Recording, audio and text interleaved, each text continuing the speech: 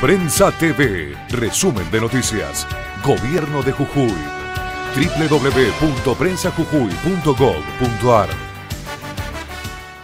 El gobernador de la provincia, doctor Eduardo Fellner, se refirió a la reunión mantenida con representantes de comunidades aborígenes.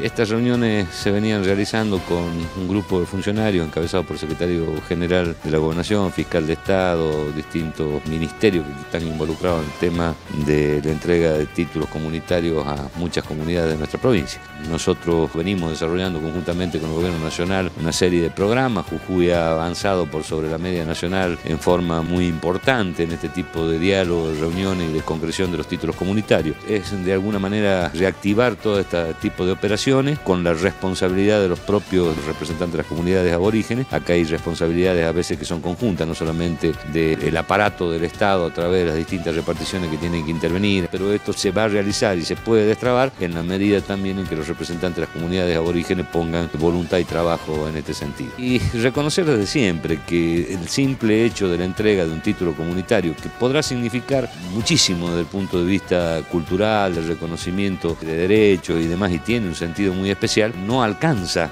para dar solución a las comunidades originarias que viven en nuestro territorio. Creo que hay que hacer otro tipo de desarrollo de tipo productivo, desarrollo cultural, mejorar la calidad de vida, dándole posibilidades de igualdad de oportunidades a todos. Esta es la decisión del gobierno, es el compromiso del gobierno y es la responsabilidad de un gobierno que ha sido elegido por el voto de toda la gente. Es decir, todos debemos trabajar de manera integrada buscando la igualdad de oportunidades.